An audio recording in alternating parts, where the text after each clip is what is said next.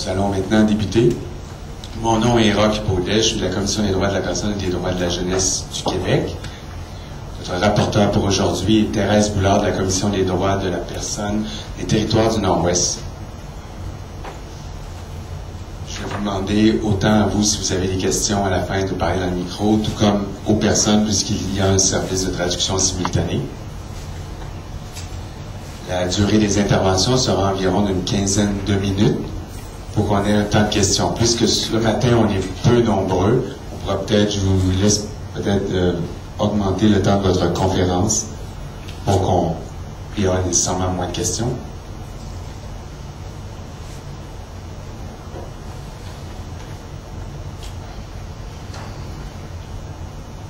Tout d'abord, notre premier invité sera Ghislain Picard.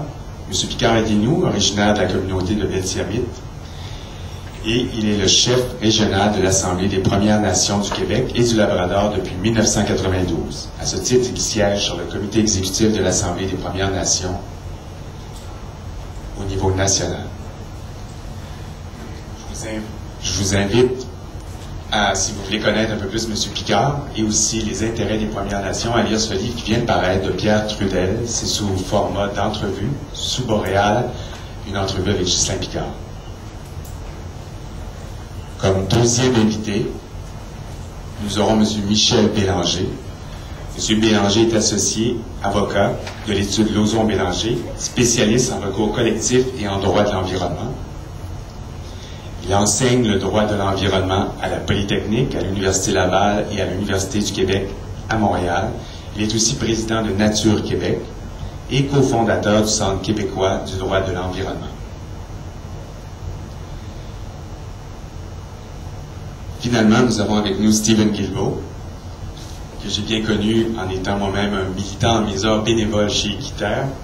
Stephen est devenu le plus crédible des représentants du milieu environnemental du Québec, les cofondateurs d'Équiterre avec Laure Varidel et Sidney Ribault.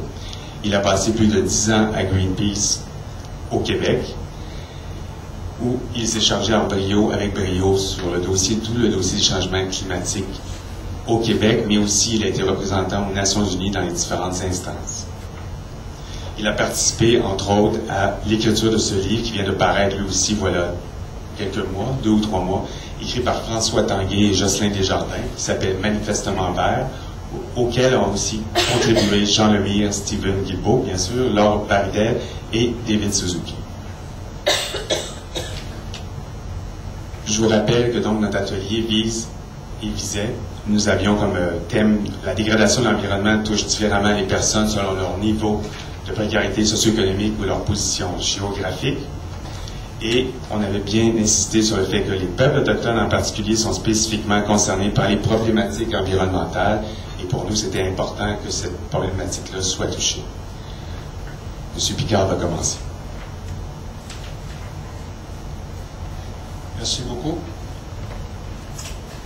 Before you start, I'm going to have to excuse myself for about 10 minutes, so just so you know, I'm walking out on the speakers. I think this is very important, and I wish I could stay. We won't hold that against you. We'll try. Merci beaucoup. Kwijt je het naam te met chef, wat ze voor het naam, de demo dat je hem roeien, dat je en zo in maar rupsjes, met Edouan Edouanilo, Sio Idan, Mzekit, Pepehel Edouanilo, er den Abendati, Nestet Niwana. Bonjour à toutes et à tous.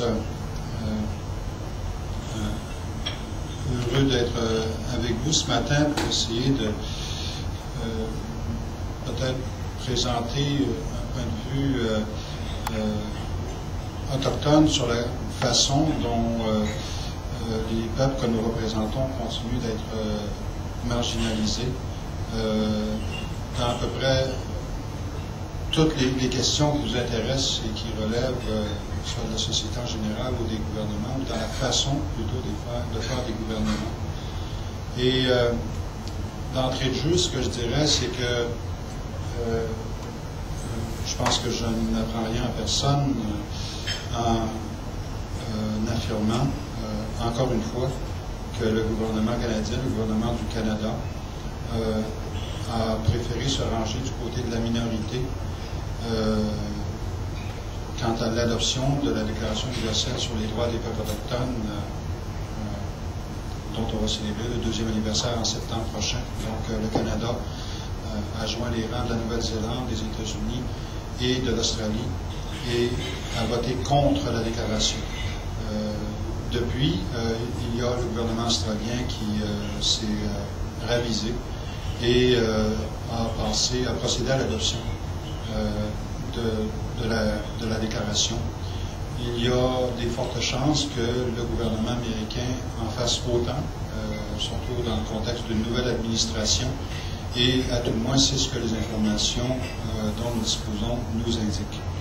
Et euh, je dirais que, euh, un, peu, un, peu, un, peu, cyniquement peut-être, je comprends la position canadienne, euh, puisque lorsqu'on fait la lecture de la déclaration, le Canada brime déjà à peu près 90 de son compte dans ce qui regarde les populations que nous représentons. Donc, c'est sans doute un aspect qui va mériter votre attention, même si je ne veux pas euh, ce matin là, euh, y aller de façon précise sur la déclaration de la position du gouvernement euh, canadien. J'ai eu un peu de retard ce matin, je m'en excuse. J'essaie de faire un virage, donc j'ai pris le métro et en partie dans la mauvaise direction. si c'est dur, parce que moi je viens de Oui. Donc, euh, je pense que on déclare depuis euh, fort longtemps, depuis, euh, depuis des décennies, et je n'apprends rien à personne, les Premières Nations sont intimement liées à la Terre. L'avenir des Premières Nations dépend du lien sacré et spirituel qu'elles entretiennent avec la Terre. Les Premières Nations sont ouvertes à partager la Terre et le seront comme leurs ancêtres l'ont été. Les relations étant basées sur les principes d'égalité, de reconnaissance et de respect mutuel, ainsi que de partage. Ce lien a d'ailleurs été, euh, ce lien particulier a d'ailleurs été reconnu par la Cour interaméricaine des droits de l'homme dans un jugement rendu en 2001 euh, au Nicaragua. Ce lien fondamental explique la crainte qu'ont les Premières Nations face à la dégradation accélérée de l'environnement, notre volonté grandissante quant à la mise en place de mesures concrètes et de normes claires pour préserver les ressources. Les Premières Nations pratiquent depuis des millénaires ce qui est convenu d'appeler aujourd'hui le développement durable. Ce développement repose sur les notions d'équilibre, de respect, mais aussi de responsabilisation. Le maintien de la pratique des modes de vie et de la diversité des cultures et des langues fait preuve de la durabilité et de la force des Premières Nations, ainsi que du lien étroit toujours entretenu avec la mère Terre. Ce lien privilégié avec la mère Terre transcende la simple volonté d'assurer une saine gestion des ressources. Il nous amène plutôt à toujours penser aux générations à venir quand arrive le temps, quand temps de créer des projets de développement. À l'heure actuelle, les défis posés par les changements climatiques sont si imposants que notre volonté à gérer les ressources efficacement, durablement et de manière responsable ne s'y plus. De manière encore plus cynique, les peuples se considèrent les premiers à subir directement les, conséquences des changements climatiques, alors que nous sommes loin d'être les premiers responsables. À ce titre, le phénomène des changements climatiques ajoute aux difficultés que rencontrent déjà les, les communautés vulnérables, nos communautés, telles que la marginalisation politique et économique, la perte des terres et des ressources, les violations, des droits de l'homme, la discrimination et le chômage, pour ne nommer que ces exemples-là. Euh, au, niveau de l'insécurité alimentaire, euh, je devrais dire plutôt, les populations inuites de la région euh, arctique et nordique dépendent de la chasse, dépendent de l'ours polaire, du morse, du phoque, du caribou, de la pêche et de la cueillette, non seulement pour leur alimentation, et pour faire fonctionner l'économie locale, mais aussi comme fondement de leur identité sociale et culturelle. Parmi les problèmes que les peuples rencontrent Soulignons les changements dans les espèces présentes et les réserves d'aliments traditionnels, la réduction de la fiabilité des prévisions météorologiques et la sécurité lors d'expéditions dans des conditions climatiques